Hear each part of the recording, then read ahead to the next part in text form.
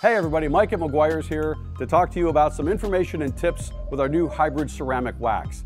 Now, hybrid ceramic wax is all about taking that SiO2, that silicon dioxide, and ceramic technology and making it really easy for you to apply.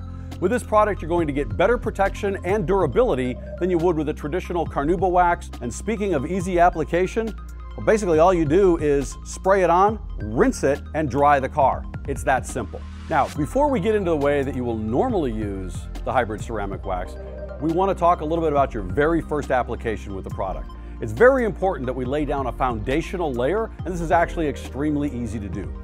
All you need to do is wash the car, rinse it off, and then spray the product across all the painted surfaces. But before rinsing it this time, we want you to go straight into a traditional drying process with a quality microfiber drying towel like the Meguiar's Water Magnet. Now for a lot of you, this isn't anything new because we know you're already using something like our Ultimate Quik Wax in that wax as you dry process. It's really the same idea here, except what we're accomplishing with the hybrid ceramic wax when we do this is to ensure that we get that product absolutely uniformly spread over the paint and we overcome any puddles of water that may have been preventing the product from actually getting down to and bonding with the paint in the first place. So this easy one-time foundational layer is going to eliminate all of those problems and really help you get the crazy water beading that you're looking for.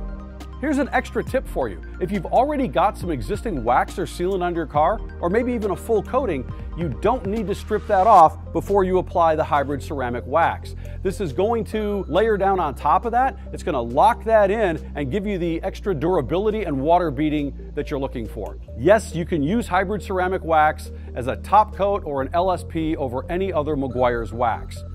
So now that we've got that out of the way, let's get on to that regular maintenance process.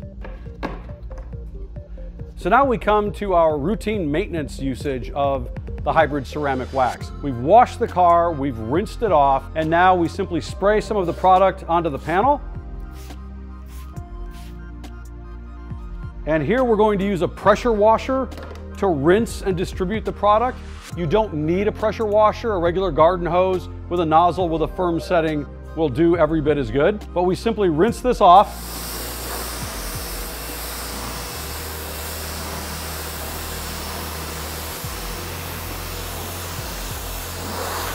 And now we can dry the car as you normally would. And what you'll notice when you're drying the car at this point is that that water is evacuated very quickly from the surface. It dries extremely easily and the paint feels incredibly slick.